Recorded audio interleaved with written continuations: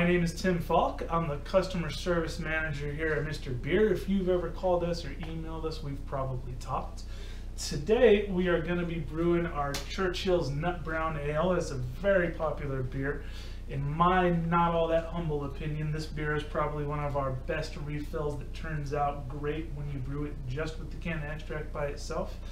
It has a 4.1 star review on our website. I think that's underrating it a little bit. There might have been some brewers in there who had a some kind of problem with their brew because I have had outstanding results with this beer. It is a 5.5% ABV beer. ABV again stands for alcohol by volume. Um, it has an SRM of 22. SRM stands for Standard Reference Method. It's a scale of 1 to 40, so this beer is kind of in the middle, being a brown ale. It's a system that modern brewers use to specify color, SRM is. It has 20 IBUs, IBUs of course being International Bitterness Units. They tell you how bitter your beer is. That's on a scale of 1 to 100. So 20 is on the low end. This is definitely a malty style. Um, the refill is going to contain this can of hopped malt extract um, with the yeast under the lid. The yeast for this beer is actually um, different than what comes with most of our other um, refills. The uh, most of our other refills come with our standard Mr. Beer yeast, which is kind of an all-purpose ale yeast. This one, on the other hand, comes with an English ale yeast. If you see here, it uh, says Churchill on the um, on the packet, so that's how you know that's one you got. It's comparable to uh, Safale SO4 if you're going to compare it to something else. Um, and as always, you also get the packet and no rinse cleanser. So as always, we are going to go ahead and get started by putting our can of extract without the yeast into some hot water. That's because the stuff in that can has a real thick consistency. It's kind of like molasses. So we put it in hot water to kind of loosen it up a bit, also to be able to peel off the label a little bit easier. But you're going to want to make sure you grab your yeast before you submerge your can in water because heat kills yeast. Cold makes it go to sleep. It's an easy enough thing to remember. So you don't want to expose your yeast to any undue heat. So now that our extract is loosening up a little bit, we're going to go ahead and sanitize our equipment, which first means um, assembling our fermenter. The reason we sanitize our equipment is because beer is a very attractive environment for bacteria, mold, and wild yeasts. Now, none of those are the kind that are going to make anybody sick. Nothing in brewing is going to make you sick, fortunately. But uh, these infections, as they're called, can lead to off flavors. Um, sometimes it can be kind of a blessing in disguise and complement the style, but uh, more often than not, it's going to be a flavor that's undesirable for the style. So it's better to stay sanitized with everything that touches the beer. Now when I put the spigot on, I'm going to take the nut and uh, put the spigot through the opening right there. And uh, I'm going to kind of put the spigot at an angle right there. And that's because it's kind of hard to get a good uh, grasp on the, the nut part. So I uh, turn it by the spigot part since it's easier to get a good grasp on it. And there we go. We're gonna fill this up with a gallon of a gallon of water to the number one line.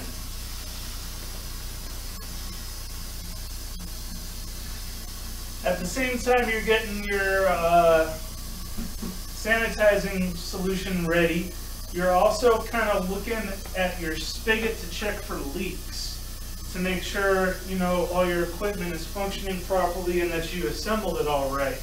You don't want to find out you have a leak um, when you already have your beer brewing, obviously.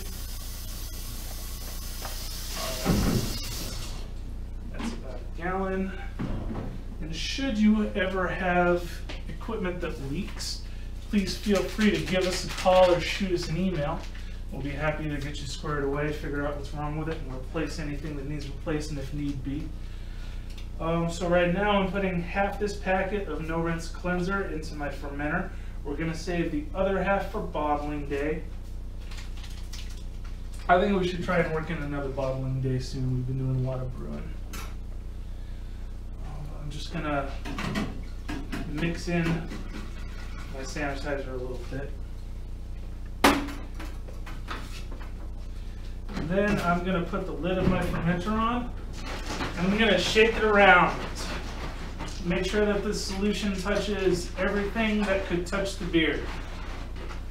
You'll notice if you turn the fermenter upside down, it's gonna leak a little bit. Uh, the fermenter is not intended to be airtight. Uh, fermentation produces a little bit of carbon dioxide, um, and that needs to be released as fermentation goes on. I'm just uh, filling up a little bowl with more sanitizing solutions so uh, we can sanitize the rest of our equipments. You're going to need a can opener. You're going to need a funnel. I guess you don't really need a funnel, but uh, the whole thing goes a lot easier if you have one. You're going to need a large spoon. I use a flat one because it makes it easier to scrape the can. And you're going to need a bowl like the one I'm filling up right now because it makes it a little easier to sanitize this equipment.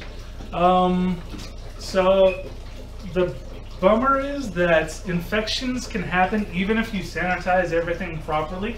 They happen even to experienced brewers. Uh, our very own Josh, with his 20 years of brewing experience, gets infected batches sometimes.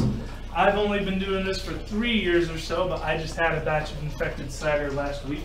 So even if you know what you're doing, and you do everything as you ought to, sometimes things don't quite go according to your plan. So don't get too frustrated if you develop an infected batch, even though you sanitized everything right. It doesn't mean you suck at brewing, it just means you got unlucky this time and you need to call us to get a replacement so we can get you set up to try again.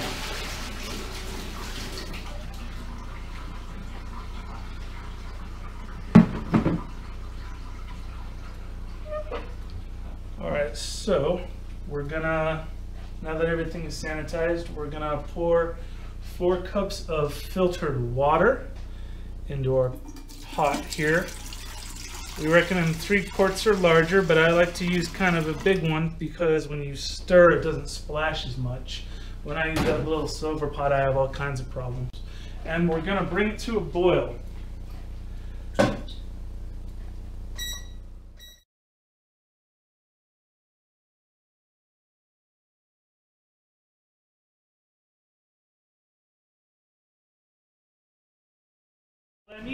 Stuff in those silver foil packs, or you have uh, Booster, the stuff in the white bags, or you have DME, dry malt extracts. You can boil all that stuff if you want to, but you can't boil this. The reason is it's already had a hot boil done to the extracts, meaning that further boiling is going to lead to grassy off flavors. Um, you'll occasionally hear people with concerns about sanitation, but the thing of it is, um, the canning process kills anything in your extract that might have caused infections. Obviously, anyone who knows anything about canning or jarring can tell you, you want to make sure that anything that you're doing like that needs to be sanitized already. So it's just not really a concern when you're working with canned products like that. And at any rate, the water is just recently boiled, so that kind of flash exposure, you know, in my experience, should take care of anything that might come up. Man, this burner is so fast, I like that. Gerace 1010 is doing the Irish Stout when he gets home. That's a good one. That's definitely, I think that's my favorite of our um, of our standard series of refills, that or the Bavarian Vice Weissbier. Um, but I think the stout's better than the porter, in my own, again, not that humble opinion. Um, we're just waiting for our water to boil. We've got our can out. Oh yeah, that's good. So let's turn off our heat source. It's very quick. And then we opened our can of extract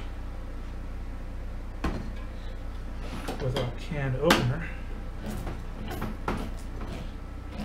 Sometimes it'll overflow a little like that if the water you put it in is especially hot. It's not a huge deal. It just can make kind of a mess, so be a little careful. If you do ever spill any extract, you're going to want to clean it up as soon as possible because believe me, if you miss some and then you try and come back for it, it is just going to be a huge pain in the neck to try and clean. The stuff turns into like rubber cement darn near.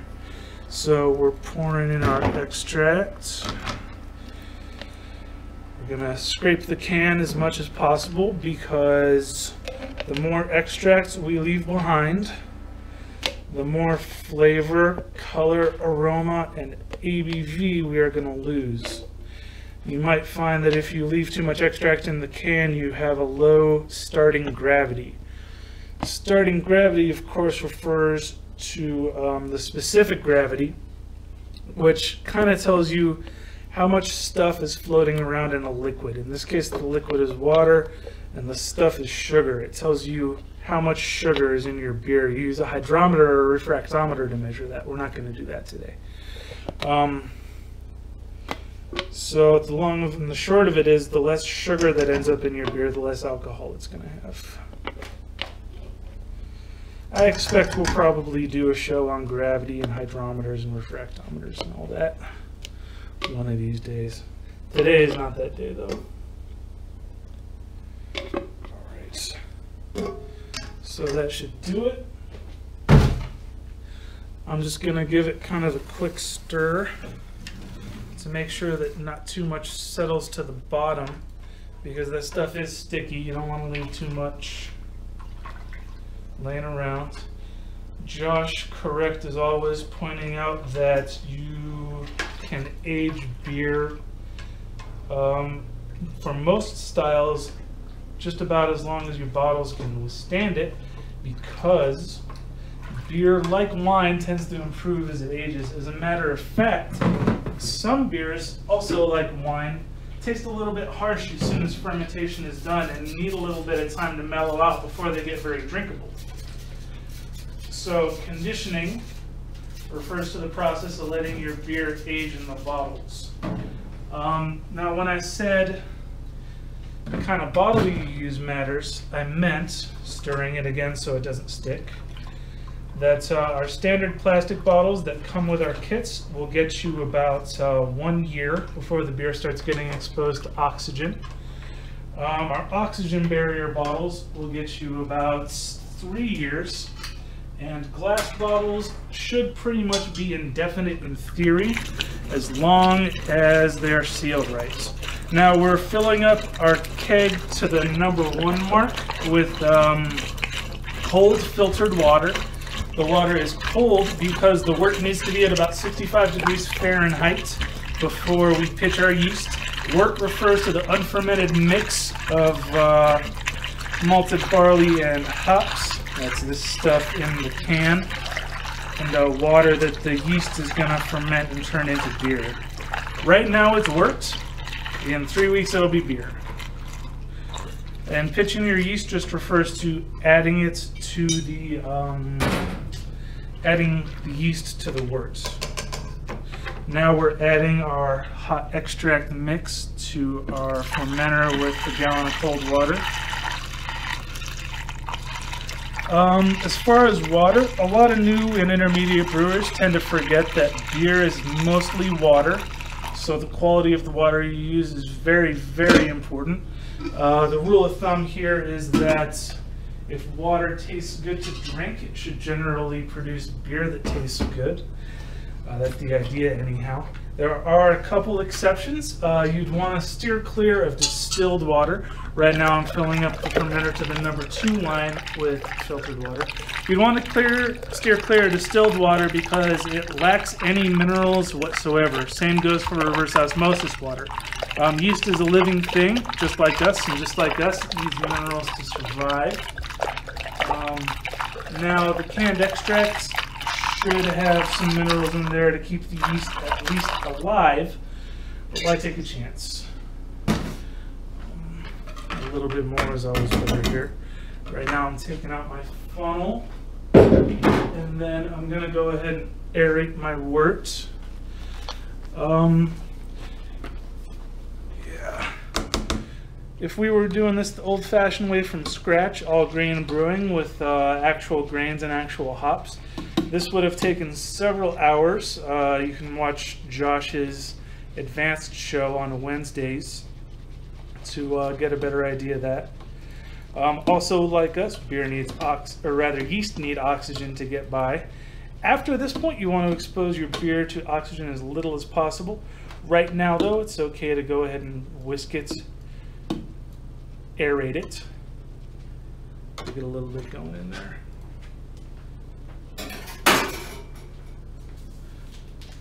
So now, I forget to get my scissors out. I'm gonna go ahead and pitch the um, like I was saying, if we were doing this the old-fashioned way, it would take a very long time. We would need to wait for the wort to cool. We would need to do our mash and our hot boil. So this way is much, much faster and requires much less space and much less equipment. Where did my lid go? There it is. Now we just screw on our lid. Once that lid is on, you should take it off as little as possible. It's okay to take it off if you really need to, like if you need to add an ingredient like say a tincture of zest that you've been preparing or a tincture of cacao nibs or uh, you know dry hopping of late fruit addition it's okay to take the lid off for just a second make your addition and then put your lid back on but you don't want to be taking your lid off every day for a couple minutes to look at the fermentation, see how cool it looks and see how gross it looks and see if it's done yet and if it's done yet and if it's done yet. If you're going to be brewing beer, you're going to need to be patient. Um, so if you really want to see what your beer is doing, you can shine a flashlight through the fermenter and kind of see a little bit. You'll be able to see some sediment collecting on the bottom of your fermenter. That stuff is called trub. It's made of spent yeast particles and uh, malt. Um, that stuff is a sign that fermentation is happening. So if you don't see sediment gathering at the bottom of your fermenter, it means your beer is not fermenting. If you don't see foam, that's not as big of a deal. Some beers and yeasts are going to make whole lots of visible foam. Some aren't going to make very much at all. Uh, you don't really need to worry too much about that. Um, after about 24 hours, you'll start seeing that um, activity in your fermenter. Um, you're going to want to ferment this beer at 68 to 76 degrees Fahrenheit. You're going to want to keep in mind that that temperature is referring to what we want the temperature of the beer to be, not the temperature of the air in the room your fermenter's in, ideally. Um, fermentation produces a little bit of heat, so your beer is usually going to be a couple degrees warmer than the room you leave it in. Um, with this in mind, if the air in the room is in like the low 70s, let's say, I would suggest taking that fermenter and putting it in a picnic cooler with a couple of uh, frozen water bottles or ice packs or something like that, and that should help uh, control the temperature. Um, when would you add a cup of honey or brown sugar? Gord Weave wants to know. That's a good question. Um, you would have added a cup of honey or brown sugar at the same time as you added in the can of extract to the hot water right after you boiled it. Um, now, if you want to add an ingredient like that, you should do it in the primary fermenter. That's this fermenter. If you're only using one fermenter, then that's just a primary. Um, sometimes, actually, quite often, we will get people calling or writing in and asking if they can use stuff like honey or brown sugar as priming sugar. The answer is technically yes, but the amount that you're putting into the bottles is so small that it's not really going to make any difference as far as flavor. You're also going to have a harder time dialing in the amount of carbonation you're going to get because different honeys can have different amounts of sugar. Um, so with that in mind, if you're looking to add honey or brown sugar flavor to your beer, do it in the primary fermenter, not at the bottling stage. If you're looking for priming sugar, just use our carbonation drops or regular old table sugar, which is the cheapest option. Um, so today we're going to talk about beer semantics a little bit. Specifically, we're going to talk about what makes a craft beer craft and what makes a microbrewery a microbrewery.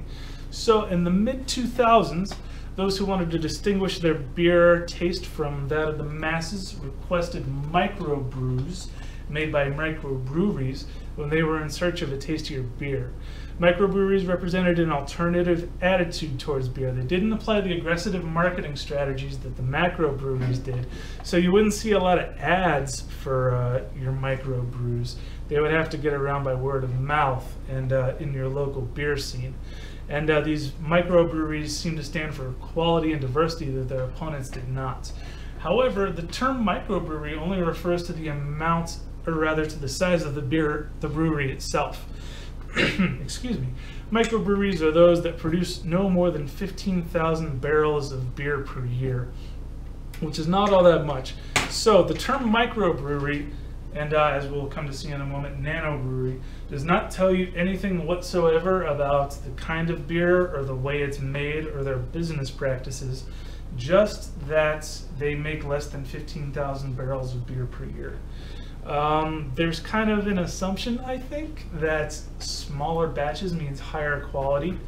Um, I don't think it's the batch size that really does it. I think it's the techniques and the ingredients. We'll get to that here in a minute. Um, as the drive for smaller local breweries and rotating small batches grew, microbrew and microbrewery fell out of popular use for the reasons we just went over. They're not a great idea of the kind of beer you're going to be getting, just how much of it the company makes. They were simply not descriptive enough for patrons who bellied up to the bar looking for a quality beer. However, the emergence of these terms into popular use meant that the emergence of an us versus them attitude in the beer industry, which is still very much present. You will see all the time if you go on the internet, go on Reddit, you know, the beer sub, or you go to any beer or homebrewing board, there is a lot of snobbery and a lot of kind of what I think of as hipsterism, where, you know, there's a lot of people trying to brag about how they know the smallest, most obscure beer style or brewery. Um, at any rate, craft beer emerged shortly thereafter as a more useful descriptor for quality beer. By the standards of the Brewers Association, craft beer means small, independent, and traditional beer. Now, what do those terms mean, small, independent, and traditional? For the purposes of the Brewers Association, small means an annual production of 6 million barrels of beer or less, approximately 3% of U.S. annual sales. If you remember, a microbrewery only brews about, um, or rather not about, it brews 15,000 or less.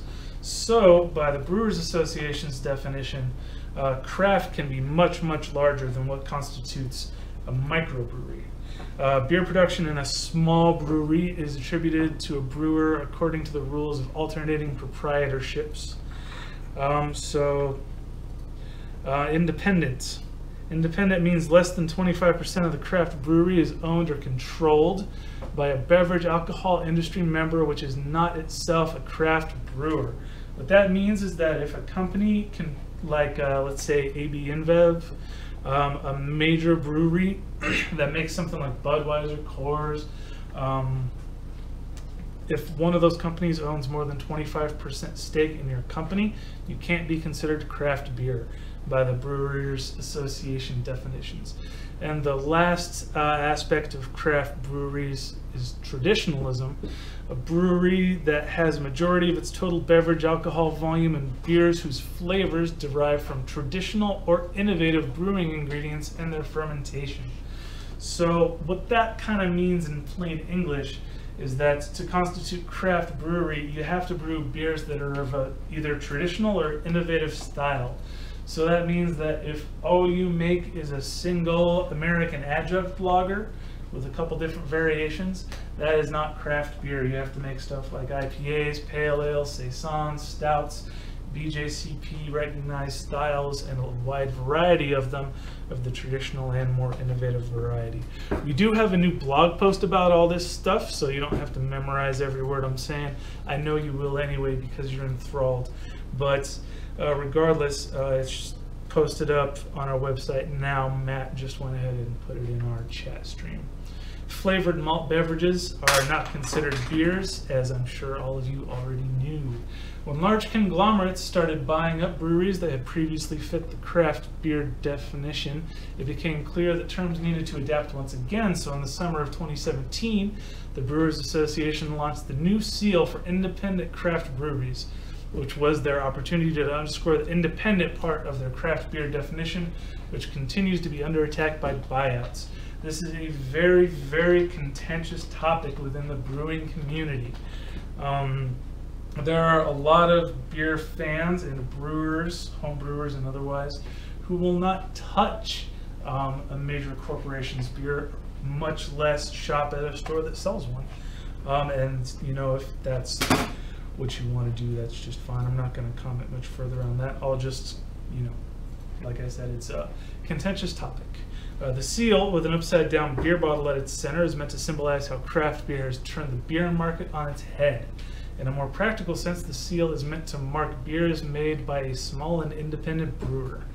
See this information again, you can visit our blog called Microbrew versus Craft versus Independent Craft on MrBeer.com slash blog. Alright guys, so that about covers our uh, semantics talk. I'm going to go ahead and give it a second uh, to, for you guys to go ahead and let me know any questions you might have before we wrap it up today. Um, like I said, we brewed an English brown ale, which is a bit on the malty side. Ours is at any rate. It's kind of in the middle between light and dark as beers go. Um, so you won't get a lot of roasted notes from it. I would say you get more like toffee or caramel kind of notes from it. Um, but you don't quite get the roasty coffee notes you get with a porter or stout. Um, really, you don't guys have any? You guys don't have any questions today? You're being so shy. How many people are watching anyway? Well, okay.